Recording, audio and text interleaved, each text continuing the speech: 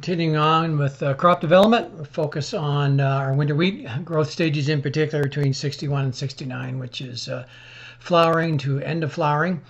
Uh, some of the earliest planted wheat in the southwest is uh, is finished flowering. Uh, we're wrapping up our T3 fungicide applications as we speak.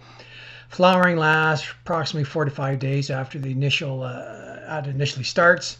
Uh, the big concern with protecting the head, of course, is to uh, reduce the incidence and severity of head scab, which leads to uh, production of DON.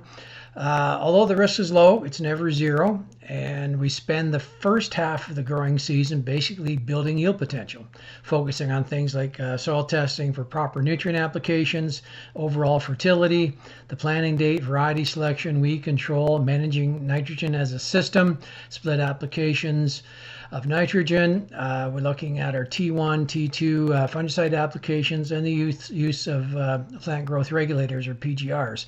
So those are things we focus on on the first half to build that yield potential. Then we spend the last half of the season basically protecting that yield potential, which is a continuation of plant health with our T3 fungicide application timing, and of course, uh, timely harvest practices that uh, get this crop in the bin.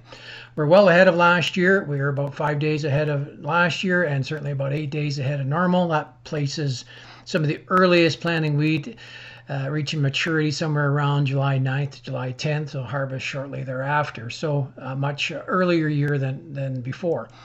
Uh, the uh, wheat is progressing well ahead of last year, as I said. Uh, grain fill uh, will need moderate temperatures. We don't need very many days at 30 Celsius, so thankfully we have some moderating temperatures and some recent rainfalls will help fill that grain. We continue on with our benchmarking program.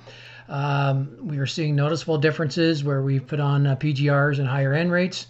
We are conducting our final plant tissue analysis, collecting those flag leaves to submit to the lab. Uh, we're going to do that'll be our final measurement of, of nutrient status of the plants. Then we'll be following through with harvest information and collecting grain samples and submitting them to the lab as well, something that we don't normally do to see what the nutrient content is in the grain itself. So that's where we are at present with wheat. Uh, there'll be more to come as the wheat continues to develop. So uh, thanks for listening. Stay safe, stay healthy.